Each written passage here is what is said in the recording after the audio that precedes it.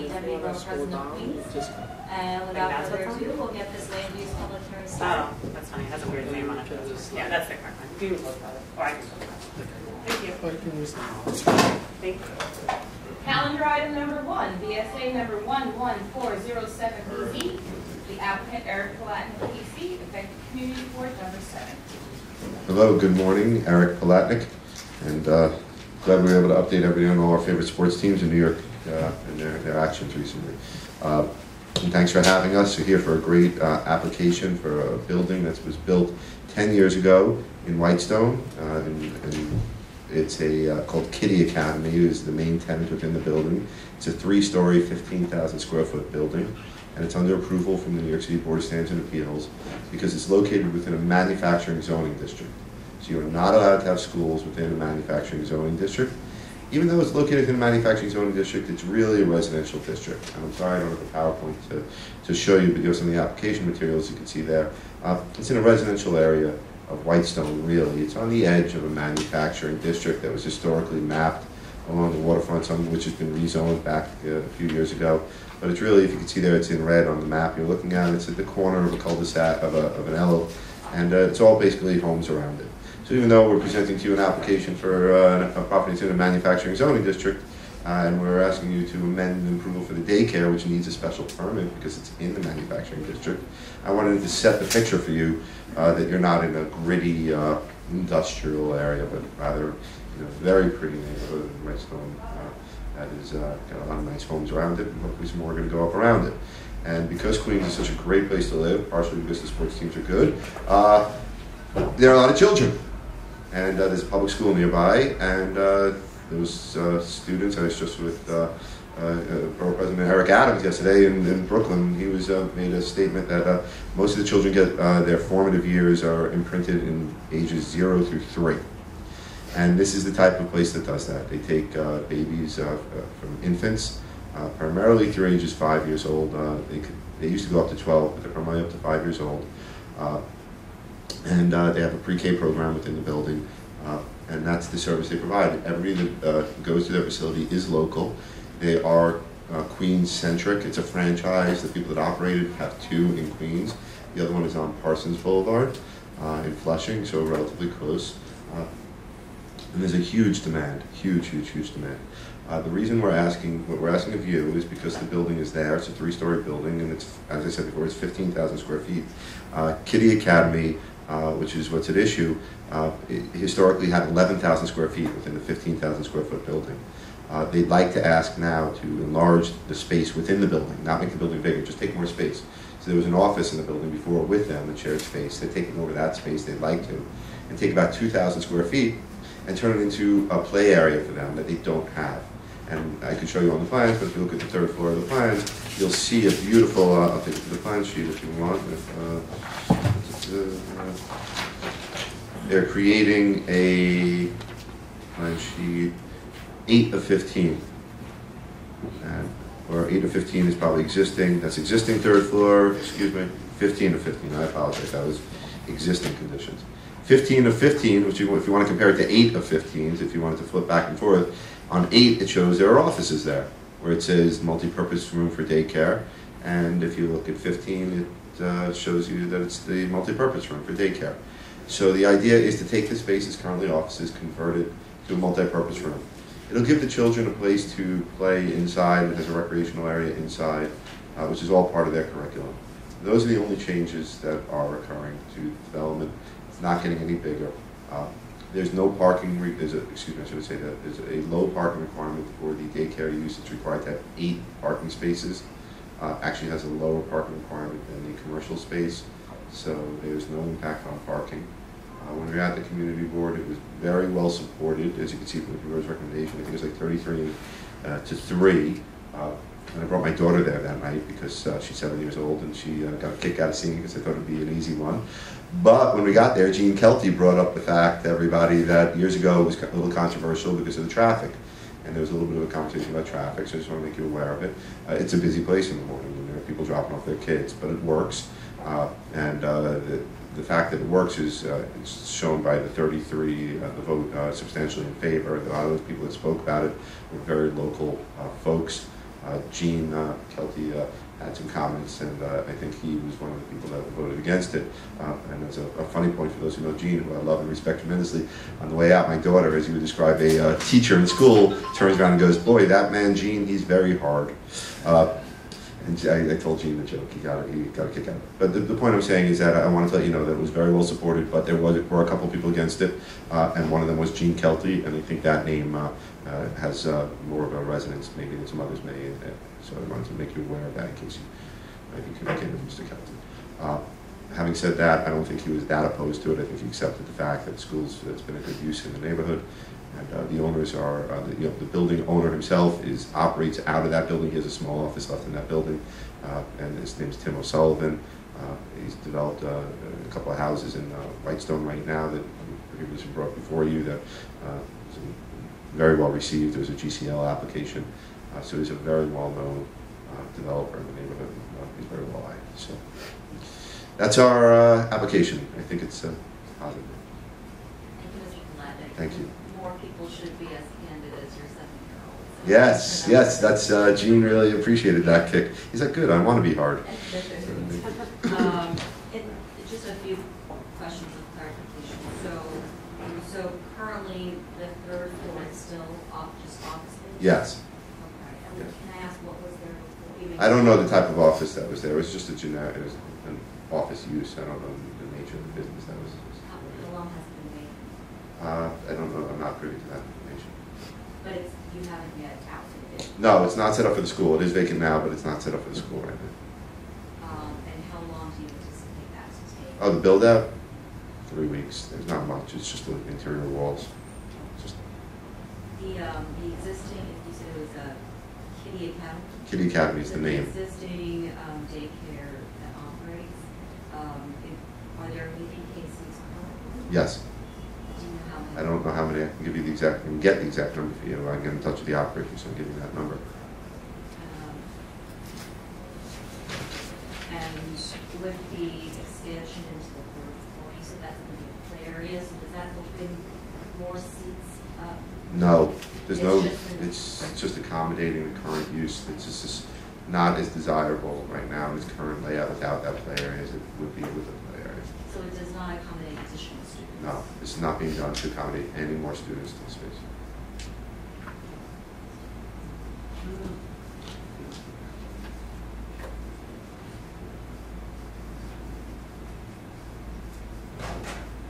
Sorry, uh, Let's take it down. because Some of the materials I have is, uh, inconsistent with what you said. To get clarity. Okay. So this is new classes. What you're probably reading, if I'm, could read into it because I'm familiar with the application, is the plan is broken down and it shows within the plan the number of students that could be accommodated in each space. So, for example, when you go to the space, probably on page 15, if I go off memory, uh, yeah, drawing 15, it, it tells you 60 children, 12 staff members in that multi-purpose room. Those are the same 60 children that might be at another point in the day downstairs in another room. It's simultaneous, it's not simultaneous occupancy. It's like this room. You moved out of your office to come have the hearing in here. That's how the children will be. It's not as if you created this room and all of a sudden you hired 20 more staff members in your team to come work within the space. Same concept here that they have.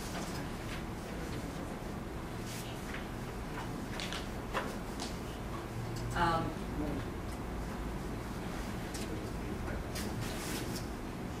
Is there capacity for another twenty-five new is capacity in the building for this, but that is not the intention. It's an educational institution, it's got a program. Purpose here, we're being very transparent. If we wanted more space for the students, we would show you there's more space for the students. They're licensed by the New York State Department of uh, Education. Uh, They're fully regulated. Uh, They are no intent, I can give you uh, any affirmation you'd like from them as to what their intentions are, so you can be comfortable with that. And the only reason why I ask is, I mean, twenty-five is not, it's a nominal number, but also there concerns expressed about the traffic and. things like Of that. course. We're talking about twenty-five. Yes, and listen, I've, I've done this for a very long time. There may be other people that are, that may in the future, uh, or may have uh, considered to change it uh, and use it in another way than than what we're representing. Uh, I'd be happy to give you a letter, though, uh, attest to the fact that the number of students are uh, intending to stay at that facility. And how many children 190, One hundred and ninety. 190. So with the expansion, it does not it's not increasing, it's not increasing. 190 students, 46 staff members, none of those numbers are changing. Uh, Everything's intended to pretty much operate exactly as is. Uh, you said three members, of the three voted against? I believe it was three. Um, can you give us more insight as to why they? I gave you my best. Just gave you my best. It was really Gene, was, uh, everything was, uh, yeah, well, Gene has some followers.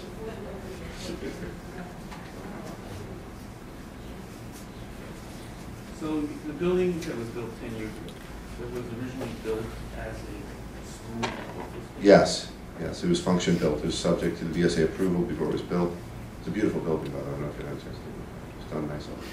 Another question is, does the school do anything in terms of drop-off, in terms of trying to manage cars? They have staff members that are out there to try to help people. Uh, It's difficult when there's pickup and drop-offs, just like in front of any school. There is a cul there's an area that's a carve-out that was subject to the BSA approval. Uh, That area will probably be used more as a carve-out when the street is open one day, when the development down the block that's in the M zone now, ultimately something gets built there. Right now, this is sort of a dead end. So the carve-out that was created, although it's a nice carve-out, it's sort of a carve-out that doesn't really let cars uh, do what they should do, which is circulate all the way around.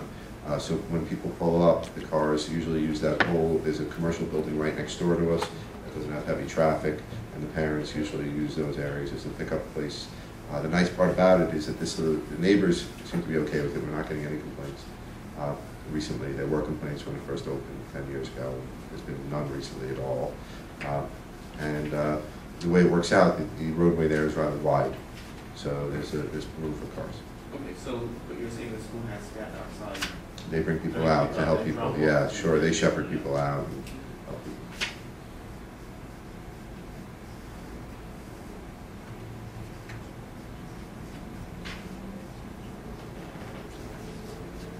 Um, speakers? Uh, Thank you, Mr. Palatnik. Thank you for your time, thanks a lot, enjoy the day.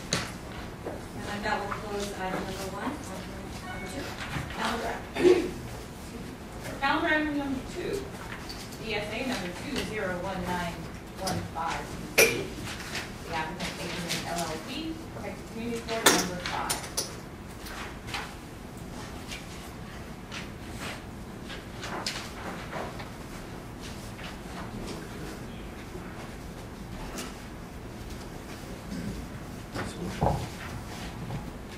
Morning, Nora Martins from Akerman LLP for the applicant. I'm also joined by James Coakley representing the owner. Uh, He's available to answer any questions that I may not be able to answer today. I'm sorry, what was your name? Nora Martins Martin. from Akerman LLP. No problem. So here today to also discuss a, uh school special permit from the BSA. Um, Our project is a new special permit, though, not an amendment of an existing special permit.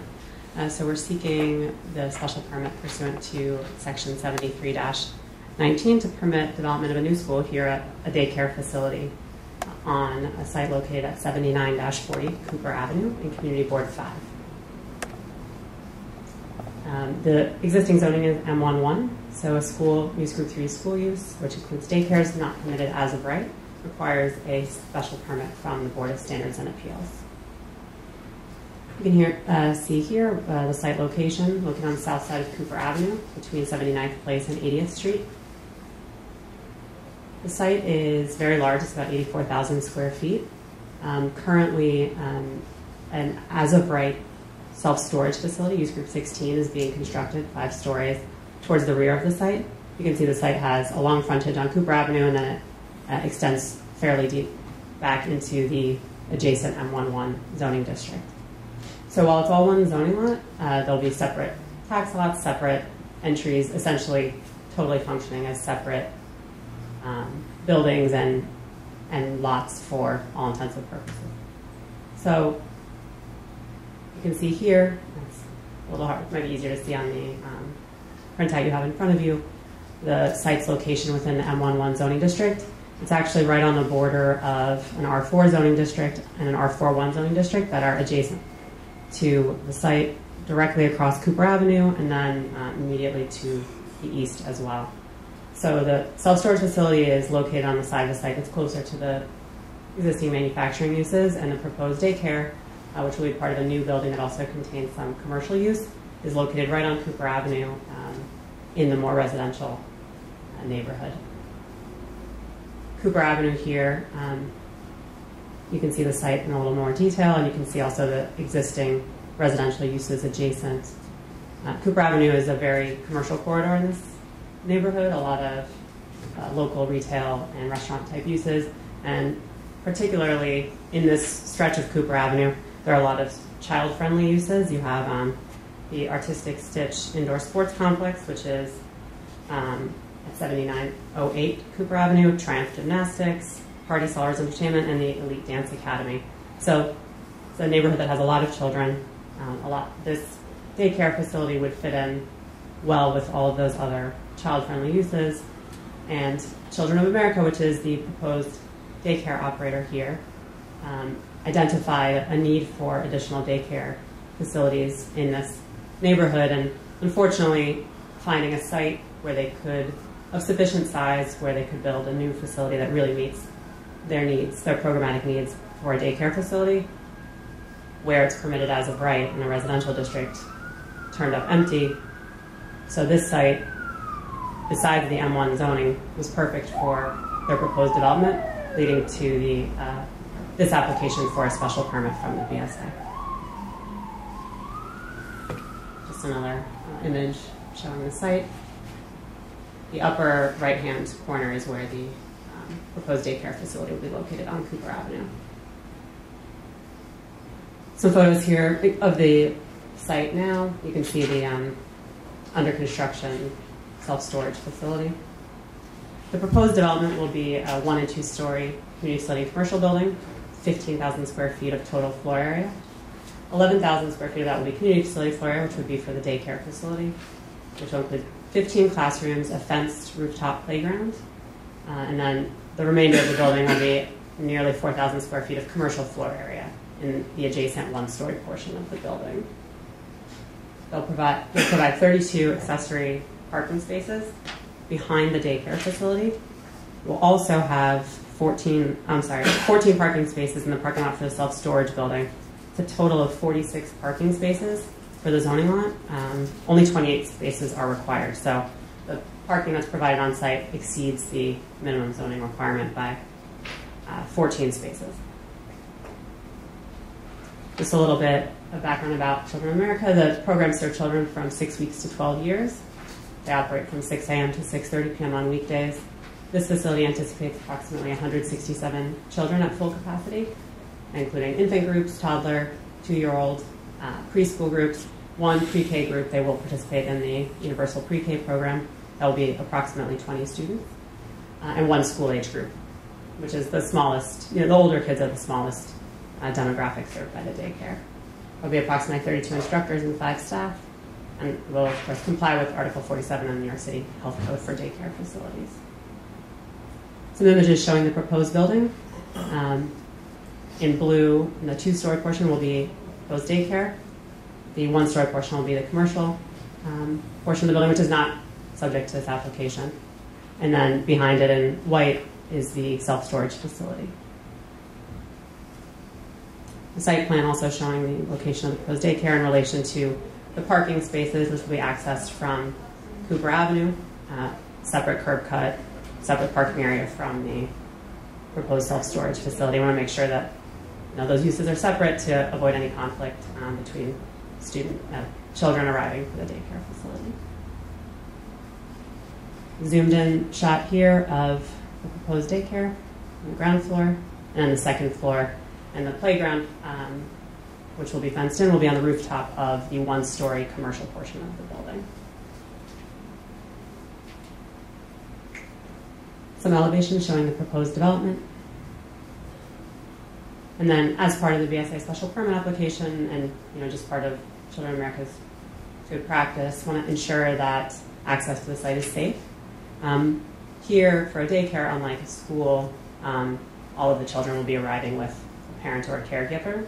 Um, they won't be traveling by themselves, but it's still important to ensure safety So we've had uh, Philip Beeman Associates uh, took a look at traffic safe, safety measures that they would uh, recommend just to ensure uh, safe access to the school. You can see here some proposed school zone signage uh, as well as some proposed high visibility crosswalks that would be added um, in the area. These measures are subject to review by DOT's school safety division. Um, they're currently under review as part of the BSA process. Uh, Community Board 5 voted unanimously in favor of the special permit application, uh, provided that safe pedestrian and traffic measures are provided. So as we discussed with the Community Board, uh, we've been meeting, DOT is obviously reviewing the school, their school safety division is reviewing the BSA application, but we've also been meeting separately, um, project civil, civil engineers been meeting separately with DOT to discuss some of the other concerns about traffic on Cooper Avenue that were raised by the Community Board. And we also, um, just lastly, we have a letter in support from Councilmember Holden. I'll just submit a copy to that.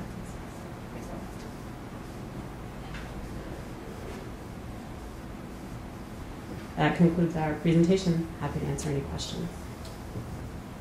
Great, thank you, Ms. Martins. Uh, So you said the UPKC should About 20. That's the anticipated number. What are some of the other sites that um, Sugar Mills America operate, are offering in Queens or New Yeah, so they're a national daycare provider. They have 64 locations in 12 states. In Queens specifically, they have a location in Jackson Heights and also one uh, in Queens Village. And they're currently planning to open a third location in Bellerose. Um, do you want the addresses for the locations? So this, uh, including Bellerose and Middle Village, that would make four. This would be their fourth location in Queens, correct? And did you say that uh, parking requirement is forty-six? The parking requirement is uh, 28 spaces. Twenty-eight. 46 spaces are provided on the zoning lot.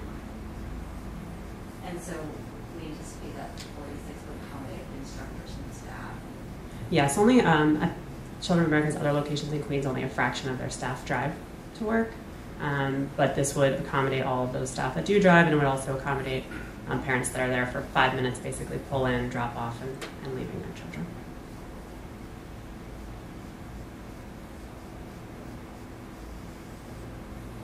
What's anticipated in the one-story commercial space? There is no tenant yet for that space. I think having some, just the community board had expressed previously um, some interest in a health-related facility, whether it's uh, urgent care, something like that. So that's you know something that the owner is looking into. It's it's right now it's a 4,000 square foot space. It could be split into two 2,000 square feet spaces. You know, it can be subdivided for multiple tenants. And is, is this location close to the outlet shops at, as, as part? Relatively close, yes. Relatively. Yeah. Um, I don't know exactly how close though, but they're nearby. Is it on that map? Mm, let's see. Or is it first, see. is it off? It's not on that map. No, I think So far enough to not on the map?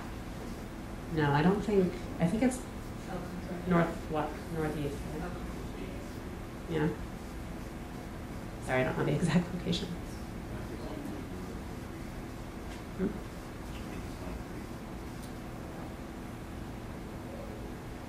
It sounds like the conversations with DOT have been conducted for the, the Yes. zone signage and. Yes, they actually, um, we met with them on April 14th, and they said they would review further, and they provided some requests for additional information. So we're we're still working with them back and forth. And should this application go through, how, uh, how soon do you anticipate the, um, the daycare facility to be up and operational? Um, that actually, I'm not sure. James, do you, can you answer that question? Would you mind? Yeah, sorry. Thank you. And identify yourself. Um, James Coakley, on behalf of the owner, uh, CS Cooper Avenue LLC. Um, Yeah, if- is- our goal would certainly be to have them in for the 2020 school year. Twenty twenty-one, twenty twenty, twenty. Yes, correct, yeah, September of 2020, correct, correct. Thank you.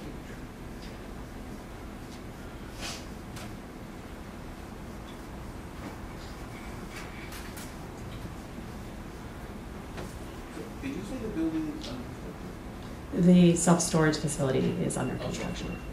The, no, we haven't started any construction on the, um, The only other question Daycare is, um, the daycare itself, is there, are there any entrances located for that? there is an entrance on Cooper Avenue, just a second means of egress. The main entrance is behind the building, off the parking lot. So if a parent wanted to drop off on Cooper Avenue, would they be able to do that? Um, they have to walk back, I'll show you on this site plan, probably the the easiest. main entry at the rear. Right, right. So the, um, the site plan, there is, a, it's hard to see here. There's a sidewalk along the side of the building, um, where, you know, a parent could walk along to the back to the main entrance, which is, you can see the elevator bank right there. So you're saying they would have to walk back to the entry, but there's no direct entry from Cooper Avenue? No, that would just be a emergency exit only. Okay, so I imagine most parents would rather just go to the main entrance than. Right. I think they're anticipating most parents will be dropping children off um, by car. And will there be school staff out there as well, because it is a parking lot, so. Yes, this- the are.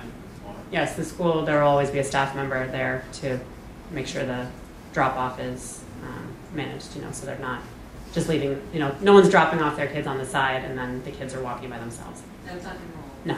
No, no. I mean, even if a parent is dropping off the kid, there would be someone from the. Yes, there will be someone supervising all the drop-off and pickups. parents are not walking to driveway. Yes, yes.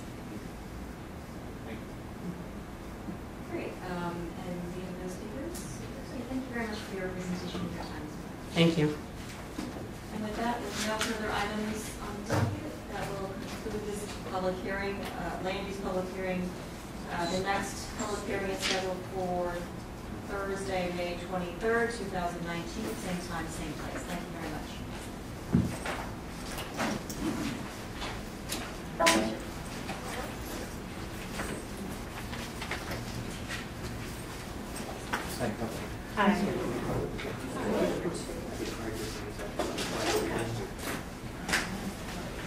It's like a two-minute walk from Apple's. Thank you. They're kind of, they're close, they're like very close. I was like, I know it's close by, but like off the Because top of my Apple's is head, I like like. eight, is eight thousand. uh, Yeah, around they're, here, this is Yeah. they're across from, 40, so they're it's like across from the cemetery. Right, so it's like a two, three mile walk. Thanks. Yeah.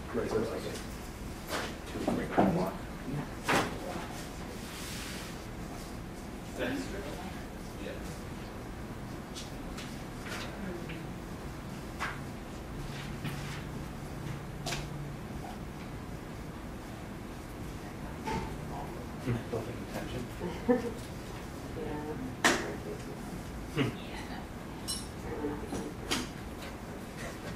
Thanks. Thank you.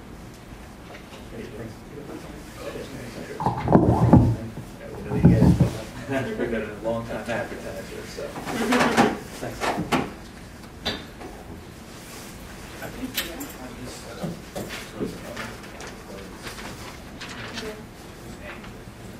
Yeah, you know what, they just brought it up and Oh. kind of like dropped. Take care, thank you. Thank you. Take care. That's what the last night I. Oh, do you have your flash drive? I took it, yeah. I don't know why it's- it stayed up on the You screen. probably loaded it. I don't know. See if I can- It's okay, we'll take care of that. Thank you. They moved everything up. They actually, uh, Everything. you walk through cancer. No.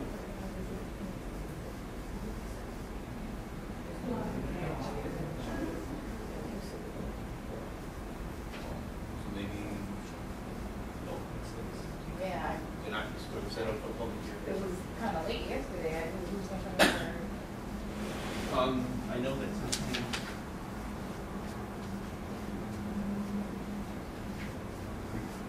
Anyway, we'll, we'll just put it, I'll make a card and set up a public hearing.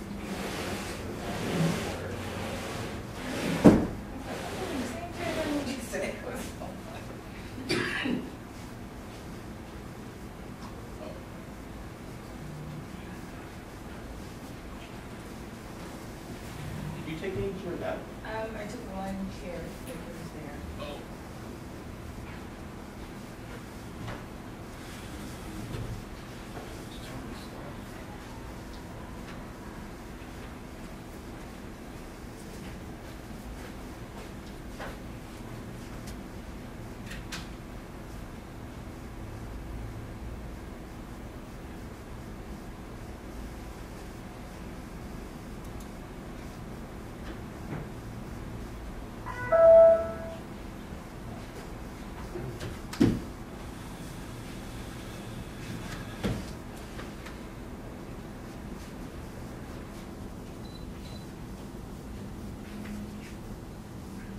Okay.